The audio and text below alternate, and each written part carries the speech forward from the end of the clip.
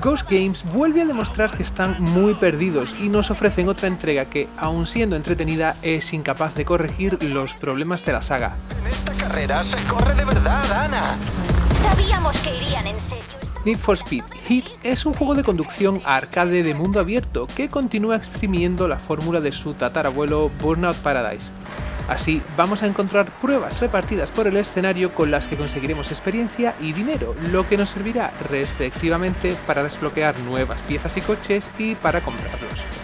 Sobra decir que tenemos una enorme cantidad de opciones para modificar nuestros coches, algo con lo que los aficionados al tuning van a disfrutar al máximo. Piezas para modificar la carrocería, luces de neón, vinilos y hasta el tipo de conducción modificar nuestro coche o comprar coches más potentes será imprescindible para progresar, ya que las pruebas irán exigiendo un nivel de vehículo recomendado según avanzamos. La aventura está claramente dividida en dos partes, la conducción diurna y la conducción nocturna. Podemos encontrar pruebas diferentes en cada franja horaria, cada una con diferentes recompensas. En general, con las pruebas del día ganamos dinero y con las de la noche ganamos experiencia, que no se aplica a nuestro personaje hasta que vamos a un garaje. Esto hace que la noche sea la parte más emocionante, con la policía haciendo acto de presencia y si nos detienen nos quitan toda la experiencia ganada. Esta idea funciona muy bien y le da mucha intensidad a las persecuciones, y además, al avanzar iremos desbloqueando opciones para sobornarlos o herramientas para complicar la persecución, ofreciendo una sensación constante de riesgo y recompensa. El gran fallo es que Ghost Games no parece ver que el principal problema que tiene la saga es el núcleo jugable. Las pruebas no ofrecen absolutamente nada diferente y tarda demasiado en ir introduciendo nuevos tipos de carreras que tampoco ofrecen nada nuevo. Aquí pasas casi todo el tiempo con el mismo coche, porque es más rentable mejorarlo que comprarte uno nuevo, y las pruebas son casi indistinguibles entre sí. Se acaba volviendo tremendamente repetitivo. Y ojo, que la fórmula sigue siendo entretenida y es fácil ponerte a conducir durante horas, pero es como la música. Hay canciones que disfrutas y quieres degustar cada nota y canciones que están bien como música de fondo. Y Hit es música de fondo. Un elemento clave de un juego de conducción es, obviamente, la conducción. Es un título muy arcade donde la clave gira en torno al derrape, que se activa, por decirlo de alguna manera, soltando y pulsando el acelerador mientras giramos. Al principio resulta un tanto extraño, pero una vez que le pillas el truco se juega bastante bien. No es la conducción más refinada y se echa en falta que los coches reaccionen de manera diferente en función de las superficies, pero cumple su cometido.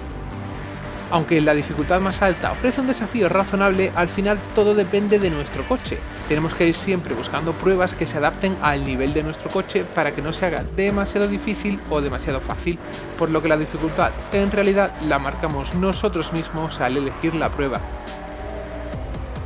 Para lanzarnos a la calle, desde el primer momento tenemos dos opciones, jugar en solitario o jugar a través de Internet.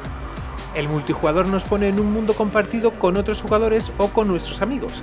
Así podemos competir en las mismas pruebas, salvo en las del modo historia, siempre que estemos en el mismo momento del día.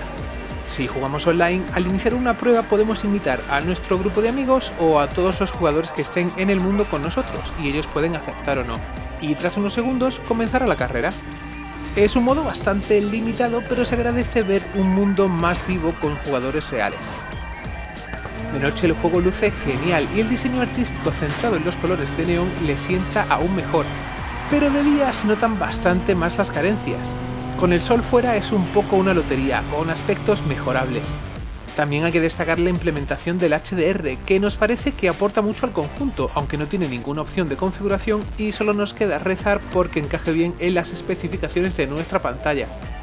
Como nota, funciona a 30 imágenes por segundo, pero no nos parece que sea un problema para la conducción. En lo sonoro el juego está muy cuidado, nos llega, como suele ser habitual por parte de EA, doblado al castellano, y hay que reconocer que han hecho un buen trabajo para adaptar la jerga callejera de este tipo de juegos sin que suene ridículo.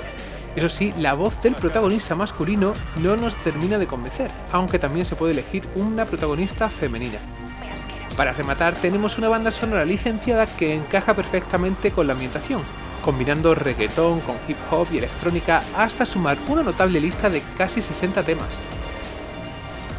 Es cierto que Need for Speed Heat hace cosas bien y al fin y al cabo entretiene, pero como grandes aficionados de la saga y a la conducción en general nos decepciona ver cómo Ghost Games es incapaz de retomar el control.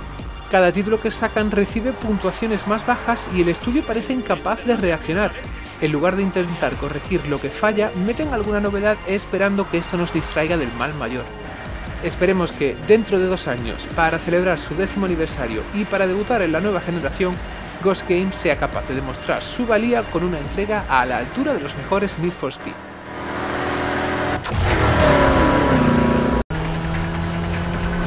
No se va a rendir, Ana. Nosotros tampoco. Vale, habla por ti. Yo me piro. ¿Pero qué? ¡Richie! ¡Richie! ¿De verdad te ha largado?